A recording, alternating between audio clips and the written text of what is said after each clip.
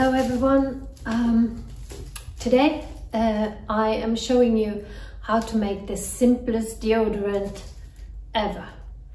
It's only got four ingredients and you mix them cold. That's it. And it'll uh, keep for three months. So um, please watch the video and uh, subscribe if you like it. And um, uh, I'll see you in the next one. Bye.